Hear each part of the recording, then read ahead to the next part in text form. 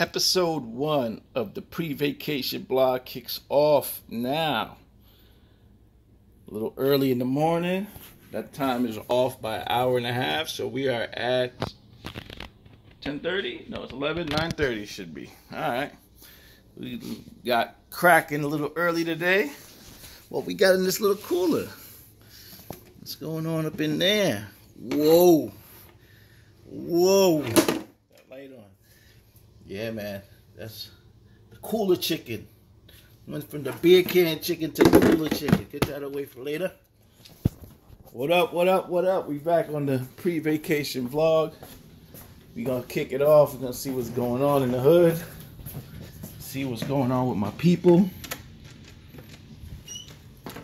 9.30 a.m. And uh, looks like my man had a rough night. He's hugging his pillow.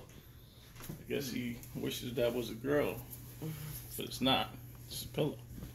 Why are you talking like that? So uh, a little early to be uh, loving on the pillow, but that's that's my son. He's a teenager now. Birthday is one day away. Are we packed for vacation yet? Possibly. Vacation's nine days away. What do we got in here?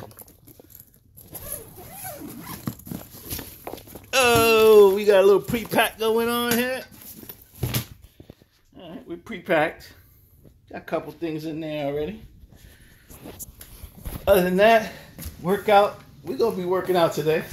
Uh, probably working out about 1 p.m. in the pure heat, making sure we fully ready. So this is gonna be pre-vacation episode one, part one. We'll get back to you later on the other part.